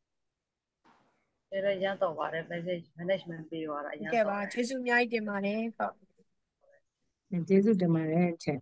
ဒီနေ့လည်းအများကြီးအဟိုဆင်မပြေမြင်ခဲ့ဘူးတဲ့မြေလူလေးတွေမြမပြာလာတဲ့သူလေးတွေမြင်ဘူးရတဲ့အတွက်ကြောင့်မလို့လေအရင်ဖြစ်ဖြစ်ဖြစ်တယ်အာတနေ့နေ့တစ်ချိန်လေးကိုသိရပြီဩဒါဘယ်တော့မှသိခဲ့ရတာဘယ်တော့မှပြောပြထားတယ်နော်အဲအမေပွဲရတယ်ဆိုရင်အကြောင်းကျိုးညီညွတ်တယ်ဆိုလာဦးအပေးအောင်မှာမန္တလေးကနေပြီးတော့ convocation တက်တဲ့ပုံစံမြင်ချင်သေးတာ ဟုတ်ပြီနော် UA ကနေ MA ထွက်သွားတာဘယ်နှစ်ယောက်တောင်မှအပေးချင်ပါသေးတယ်အကြောင်းကျိုးညီညွတ်တယ်ဆိုရင်ဒါကြောင့်မလို့ဒီကြက်ရေးတဲ့အခါမှာလဲအမလျှော့နဲ့ကိုကိုကိုအားပေးကိုကိုယ်တိုင်ပြိုတိုင်းဖြတ်ပြီးတော့ကြည့်နော်ဘဝမှာဘလောက်ပြိုလဲထားလဲကိုကိုကိုအားပေးတယ်ကိုကိုကိုရက်တည်နိုင်အောင်ကိုကိုကိုအားပေးနိုင်အောင်ဒီဘာပဲရှိလဲကိုကိုယ်တိုင်ရဲ့အားအင်ဘယ်ကနေရနိုင်တာလဲဓမ္မအတိဓမ္မစာပေဓမ္မလေ့လာမှုဟာပဲရနိုင်တယ်မှန်မှန်ဆိုရင်ဖြတ်ပြီးတော့ ပြိုလဲသွားမယ်အခြေအနေတွေဒါပေမဲ့လို့ဓမ္မဖုံဖုံနေဓမ္မမောင်နှမတွေနဲ့အားတွေနဲ့အားတွေတက်လာတယ်ဘဝကပြန်ပြီးတော့ပျော်လာတယ်ဘာတွေနဲ့ပျော်လဲဓမ္မအတိဉာဏ်တွေနဲ့ပျော်လာတယ်တပည့်တော်ကိုဒါနမူနာယူနော်နမူနာယူစရာတွေအများကြီးပဲဒီ lesson မှာဆိုရင်ဘလို့ပဲဒုက္ခများများအော်တစ်ချက်ပြအောင်မယ်မမီပုံလေးပြအောင်ပါနော်မမီရဲ့ဟုတ်ကဲ့ပါဒီနေ့လေဘီဘီကအဲဘီဘီကစာပြီးသွားပြီမမီရဲ့ခါတိုင်းတော့ကတော့မမီကိုလေဘီဘီကပြမယ်ဆိုပြီးပြောထားတယ်ဒါပေမဲ့လို့ကြောင်းကျိုးပုံမမီနော် ဒါလေကြိုင်လို့အဘိဓမ္မာတက္ကသိုလ်တုန်းကလေမမီနဲ့တူတူ2017တုန်းကတူတူယူထားတာမမီချောတယ်မလားကဲချောပါတယ်ချက်တက်ဘယ်ဘယ်ရွယ်တုန်းဆိုတော့တော့90တက်တည်ရှိရချက်အဲ88နှစ်က88နှစ်ကတူတူသမီးနဲ့တူတူပြပြီးတော့စာလုပ်တာကြည့်နော်88နှစ်ကတော့မှစာလုပ်နေသေးတာဟုတ်ပြီနော်အဲဒါကြတော့တာမီတယောက်ဒါမင်းဓနဲ့မ္မဟုတ်စာကဲ့ပါပေချက်ပြီးတော့ခါကြတော့ တည်ရှိလိုက်တာအကျော်ဆုံးလေးတွေကိုပိုင်ဆိုင်တာဟုတ်ပြီနော်အဲ့လိုမျိုးတွေတူတူဘဝကိုပြတ်ပြီးတော့ဒီလိုချိန်နေရောက်အောင်အဖေရဲ့ပံ့ပိုးဆောင်ရှောက်မှုအမေရဲ့မေတ္တာတရားတွေနဲ့ရရှိခဲ့တာဒါမမီပေါ့ဒါမီညောအဲ့ဒီညတော့အပျော်ဆုံးပဲလေးပေါ်လမ်းလျှောက်နေရတယ်လို့မျိုးပဲပထမဆုကလည်းရတယ်ဆိုကျန်းတဲ့ခြေထောက်နဲ့တောင်မှမကြောက်ဘူးမြောက်ကြွမြောက်ကြွပေါ့အဲ့ဒီခံစားချက်လေးဟာလေအဓိကမိဘဆရာကျေးဇူးသာသနာကျေးဇူးကို ဓမ္မအသိဉာဏ်နဲ့မျှဝေပြီးတော့ကျေးဇူးဆက်ခွင့်ရခဲ့တယ်ဒါတွေဒီဘဝမှာလေပြန်ပြောနေတယ်ဆိုရင်လေဟောတို့တို့တိတ်ပြီးတော့ feeling ညာအောင်မှာမဟုတ်တကယ်တမ်းကြံပြီးသွားတဲ့အချိန်မှာလေရရှိခဲ့တဲ့ခံစားချက်ကအပျော်ဆုံးပဲဆိုတဲ့ခံစားချက်တွေကိုပိုင်ဆိုင်ရလိမ့်မယ်ဒီ sorry ဒီပုံလေးကလေမမီမဆုံးငင်ကလေမမီမဆုံးငင်နှစ်ရက်ကပုံလေးမမီမဆုံးငင်နှစ်ရက်က အဲတန်ကအပါရှိရာကိုဆွန်းသွားလောင်းတော့ကရိုက်ထားတဲ့ပုံလေးနော်ဒီလိုပုံစံလေးဆိုတော့ baby ဘယ်လိုထင်မလဲမမဒီလိုဖြစ်မယ်တော့နော်ဒါသည်85နှစ်အမေရဲ့နောက်ဆုံးမဆုံးငယ်နှစ်ရက်ကပုံလေးအပေးတာနော်မမီကဘယ်လိုစားအရန်ချောတယ်အားလဲနာတယ်ခက်လဲထက်တယ် baby ဘွားမှာတော့အနိုင်မဲ့ပဲပေါ့မိဘတိုင်းကတော့အနိုင်မဲ့ကျေးဇူးရှင်တွေကြီးပဲဒါပေမဲ့လို့ဘာကိုပြောချင်တာလဲဆို အားလုံးမှာမိဘတွေရှိတယ်ဟိုကိုနဲ့အအကြောင်းကျိုးညီညွတ်သည်ဖြစ်စေမညီညွတ်သည်ဖြစ်စေကိုယ့်ကိုငွေထုတ်ပေးလာတယ်ကိုယ့်ဘဝရှင်သန်ပေးလာနိုင်တယ်ဓမ္မအသိဉာဏ်တွေသိရှိနိုင်တယ်လေ့လာနိုင်တယ်ဆိုရင်မိဘကျေးဇူးကိုအကောင်းဆုံးဆက်ပါဘာနဲ့ဆက်မလဲအခုလောလောဆယ်ရေးနေတဲ့ကျမ်းနဲ့ကျေးဇူးဆက်မယ်လို့ဒီပဲချက်ထားလိုက်အဲ့ဒါဆိုရင်လိုရတာတွေကအရန်အတက်သွားပြီဒီချမ်းလေးကိုသာအမေကိုပြလိုက်ရရင်ဖြစ် ဒီချမ်းလေးနဲ့မရှိတော့ဘူးဆိုရင်လည်းမိဘကိုဒီချမ်းလေးနဲ့ပူဇော်ခြင်းနဲ့ပဲဖြစ်ဖြစ်ဒီရွယ်ချက်တွေနဲ့ကြိုးစားပေးပါကျေးဇူးအများကြီးတင်ပါတယ်အားလုံးရဲ့ဆောင်းရှောင်းမှုမေတ္တာအားလုံးရဲ့မေတ္တာတရားကိုလည်းခံယူပါတယ်လိုအပ်ချက်များအားနည်းချက်များအဆင်မပြေမှုများရှိရင်လည်းထပ်မံပြီးတော့တောင်းပန်ပါတယ်ပုံပုံများဆရာလေးများနဲ့ဓမ္မမောင်နှမများသည်လည်းရေးသားမဲ့အမေချမ်းကိုအခက်ခဲမရှိအစဉ်ပြေချောမွေးအောင်မြင်စွာဖြင့် ဘဝရည်မှန်းချက်များပြည့်စုံကြပြီးကောင်းကျိုးလိုရာဆန္ဒများပြည့်ဝပြီးယခုဘဝမှာပင်ဥထုဇဉ်နယ်မှအရိယာနယ်သို့တလန်းနိုင်ပါစေရန်ဆုတောင်းမေတ္တာပို့တာဘရောအပ်ပါတယ်ကျမတို့ပြည့်တဲ့ပြည့်ပြည့်ပါစေပြပါစေကျန်လေးသက်ချင်ကျမပါနဲ့သာသနာပြုနေဟုတ်ကဲ့ကျေးဇူးတင်ပါတယ်ဒီနေ့အားလုံးကိုစုံစုံညီညီလေးမြင်ဖို့ပြရတဲ့အတွက်ကြောင့်မလို့ ညကျေးဇူးတင်ပါတယ်တကယ်လို့မမြင်ရသေးဘူးဆိုရင်လည်းယုံကြည်ပါတယ်မြမပြည်ကနေလာတာတွေပဲဖြစ်တဲ့အတွက်ကြောင့်မလို့ဟုတ်တနေ့နေ့တစ်ချိန်ကြီးကြောက်ကြုံညီညွတ်ရင်လည်းမန္တလေးရောက်ရင်လည်းခေါ်နိုင်ပါတယ်ဆက်သွယ်နိုင်ပါတယ် ဟုတ်ကဲ့ ဒီ ပါ ဟန်ကတော့လေဒီနေ့မုံနှမတွေကိုအများကြီးပဲ16ယောက်တောင်မှခင်တယောက်တည်းမဟုတ်တော့ဘူးเนาะဒီထဲမှာ Zoom ထဲမှာ16ယောက်ဆိုအားလုံး15ယောက်ကဒီဟန်ရမုံနှမတွေပဲအားရတော့အပြည့်ပဲ ဟုတ်ကဲ့ပါကျရန်ကုန်ရောက်ရင်လည်းချက် ကျေးဇူးတင်ပါတယ်ချက် ဟုတ်ဟုတ်ကဲ့ပါကဲ့ကျကျေးဇူးများတင်ပါတယ်ဟုတ်ဟုတ်ကဲ့ပါကျ။ဒါလည်းနတ်ပြည်မတိုင်ခင်တော့မန္တလေးရောက်မယ်။အဲ့တော့မှတီချောက်ဆက်တွေ့လိုက်ပါမယ်ဟုတ်ကဲ့ဆက်သွယ်လိုက်ပါဟုတ်ကဲ့တွေ့ချင်ပါသေးတယ်ဖုန်ရင်ပါသေးတယ်အချိန်။မျိုးဆက်သွယ်ပါကတော့ညီမတယောက်ရှိနေတယ်အမတယောက်ရှိနေတယ်လို့ခံယူတော့ခင်ဗျားတို့အဲ့လိုခံယူထားတာဒါကြောင့်မလို့ခင်ဗျားဘုရားအားတွေပြန်တက်နေတာကျေးဇူးများကြီးတင်ပါတလိုက်ပါမယ်လိုအပ်တာများလည်းအချိန်မျိုးဟောဆက်သွယ်ဖုန်းနံပါတ်နဲ့လိပ်စာလည်းပို့လိုက်ပါမယ်ချက်။ မှန်တောပါင်းပါဆိုရင်ရောက်ရင်ဝင်လဲပါလို့ချက်ဟုတ်ကဲ့ပါကျေးဇူးတင်ပါတယ်လာခဲ့မယ်နော်ရန်ကုန်ရောက်ရင်တော့ဟုတ်ဘုကဲ့ရားပါအများကြီးစားတတ်တယ်ဟုတ်ကဲ့ပါချက်လိုက်ကြွေးပါမယ်ချက်ဝါဟုတ်ကဲ့ကျေးဇူးများကြီးတင်ပါတယ်ဟုတ်ကဲ့ဟုတ်ကဲ့အဲပါဆိုချရက်င်ကောင်းသောနေလေးများပိုင်ဆိုင်ပြီးချမ်းမြန်ဆုံးအကောင်းဆုံးအောင်မြင်စွာရေးသားနိုင်ပါစေရန်အတွက်ဆုတောင်းမေတ္တာပို့သပေးပါတယ်ကျေးဇူးများကြီးတင်ပါတပြယ်ပါချက်ကျေးဝင်အများကြီးဇူးပါစေချက်ကျေးဇူးတင်ပါတယ်ကျေးဇူးတချက်င်ပါတယ်ရှင်ဟုတ်ကဲ့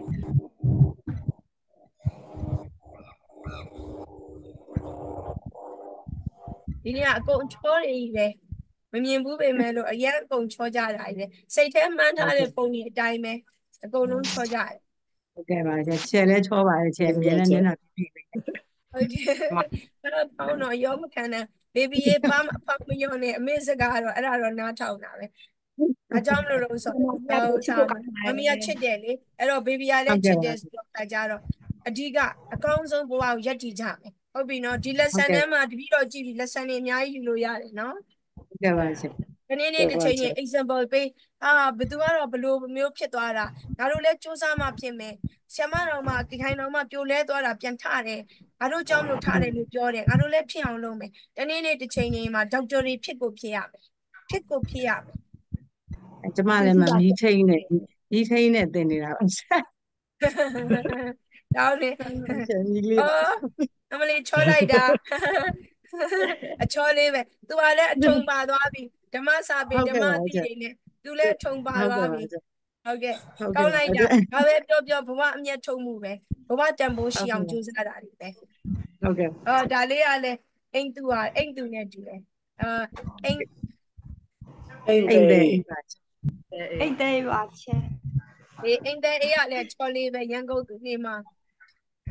ရန်ကုန်သူချက်ရောက်ရင်လာလေပါလောလောဆယ်တော့မှအမေကဆေးရုံပြနေရလို့အမေလူမမဆောင်ရင်လည်း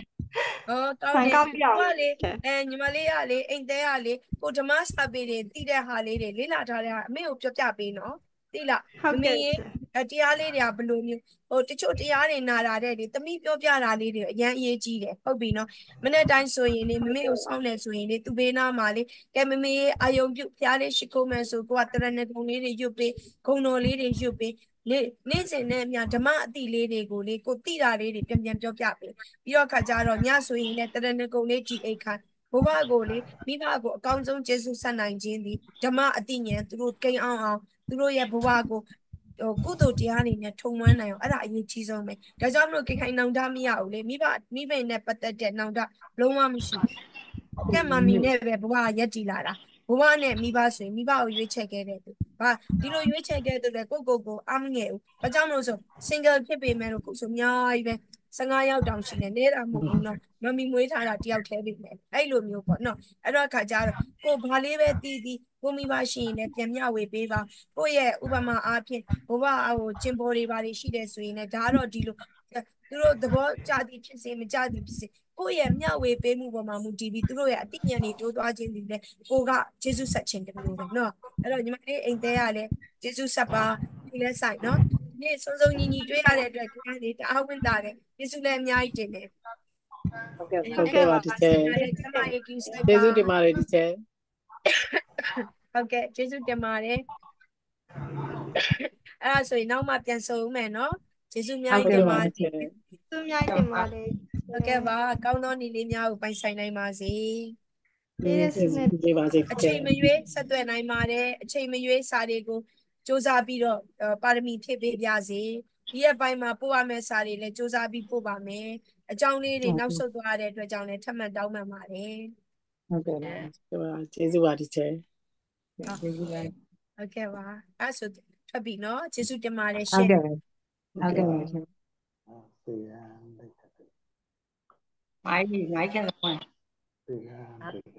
ဟလဲဆောင်းဝင် မိုင်းကန်ဆောင်းဝင်ပေါ့ဝိုင်းဆရာလေးဗျရည်ချီခလေးလေးညီမီးစီရတာဘာကောင်းလေးလဲမင်းကလေးမင်းကလေးမိန်းကလေးမိန်းကလေးဘာကောင်လေးမမမဲလေးစပင်းလေးမခင်ခင်လေးမခင်ခင်လေးရှင်းဟုတ်ကဲ့မလေးတုံပြောတင်းမထေးမထေးဘယ်လိုနေလဲအော်မထေးအိမ်ရောက်နေပြီစိတ်ရောဆင်းပြီ တက်တာလားရဲ့တက်တာလားအဲတက်တာတယ်တက်တာတယ်ဟုတ်အဲအိမ်အိမ်ပြန်ရောက်သွားပြီဟုတ်ဟိုကလေဖုံးဆက်မလို့ဟာလေမမထေးကမကင်နိုင်မှာစိုးလို့ဟုတ်ဖုံးဆက်ဟိုဟိုဘုံတော့ကင်နိုင်ပြီ तू line နေပါလေတက်နေပြီဒါပေမဲ့ तू လမ်းလမ်းလျှောက်လို့မရသေးဘူးတဲ့ခြေတော့ခြေတော့ကဟိုလေဟိုလှိုက်စားသွားတာအနာကိုပိုးကလိုက်စားသွားတာဟောင်းလောင်းကြီးနေအဲအဲ့ဒါအသားပြန်တက်အောင်လုပ်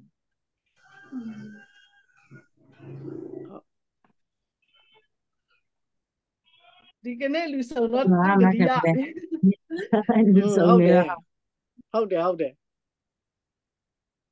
မကရင်လေးနဲ့တွဲပဲနော်အများနဲ့တွဲနေတာဟုတ်ကဲ့ပါဟုတ်အခုအိမ်အိမ်တော့ပြန်ရောက်နေပြီအိမ်တော့ပြန်ရောက်နေဟုတ်အဲအဲအဲ အဲမမမီလေးလားအော်နေပြီဟုတ်ကဲ့ဘာလေးလဲမိန်းကလေးပါချက်အော်ကြည့်စရာလေးဟောတာအချိုးတာမျက်လုံးလေးကလည်းလှတာပါလိုက်တာညနာဝိုင်းနေညနာဝိုင်းဝိုင်းနေဘယ်နေ့ကမွေးရလဲမမဟုတ်ကူကနှစ်နှစ်လမပြည့်သေးဘူးပေါ့အော်နားလားမသိဘူးနားမသိဆိုချင် wifi ပေါ့ကောင်းလိုက်သူတာစပင်တာကောင်းတာ သူသပင်လည်းရမ်းကောင်းတာနောက်မှလည်းဟိုကျသပင်တွေကိုပြပြီးတော့လည်းလန်တက်အာစနေမွေးရကြီးကြီးပဲကောင်းတယ်ကြည့်စရာလေးမလေးမင်္ဂလာပါဟုတ်မမချစ်စရာလေးလို့ကလေးလေးอ่ะဟုတ်ကဲ့ဘာနဲ့မွေးရလဲဟမ်သူကဟိုကဗုဒ္ဓဦးနေ့ပေါ့ဗုဒ္ဓဦးနေ့အော်ပုံဘုံရဟုတ်ကဲ့ အဲတုံးတခိန်ဂျာစပွားဟိုတင်းနေဂျာစပွားလေးနော်ပါသားပါဟုတ်ကဲ့ဟုတ်တယ်ဗုဒ္ဓဘူးဂျာစပွားလေးကောင်းတယ်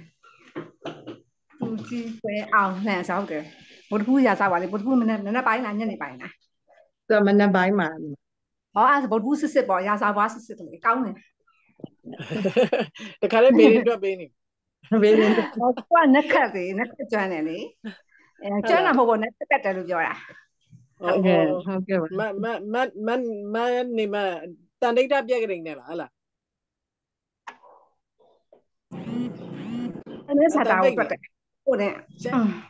ကိုယ်တိုင်းစားတာကိုတွက်စားတာကိုတွက်တာပေါ့နော်ကိုယ်တိုင်းလေဟောအနေဒါပြက်ကလေးတော့ပြက်ကလေးမယ်ဒါနဲ့ကိုယ်တိုင်းပဲတွက်ယူတယ်ဟောဆရာတော်ကတကယ်ညလို့လေဟုတ် ဆရာတော်ကနင်တော့နှစ်ခက်အကြံပေးလေအားကြောင့်ဟောအာဟုတ်ဟုတ်ကိုယ်တိုင်းတင်တာဆိုဟုတ်ကဲ့ပါကျေးဇူးတင်ပါတယ်တော့ဟွာလေကောင်းတယ်ငွေချိန်သိရင်တော့ကောင်းတာပေါ့တော့တော့မယ်ဟုတ်ကဲ့မွေးနေတယ်မွေးချိန်သိလားတဲ့မခင်ဆောင်အမညီမပြေးတော့မယ်ဘာပါမွေးမွေးချိန်ဟုတ်မွေးချိန်ရ ဟုတ်ကဲ့ပါနောက်မှညီမလေးကိုဟိုအဖြစ်ပါမယ်လို့ပို့ပေးမယ်လားဟုတ်ကဲ့ပါဟုတ်ကဲ့ဟုတ်ကဲ့ပါဟုတ်ကဲ့ပါကျေးဇူးတင်ပါတယ်ဟုတ်ကဲ့ဟုတ်ကဲ့ဟုတ်ကဲ့ပါအားလုံးဖတ်ပါအောင်မယ်နော်ခွင့်ပြုပါအောင်ရှင်ဟုတ်ကဲ့တွက်ပြီ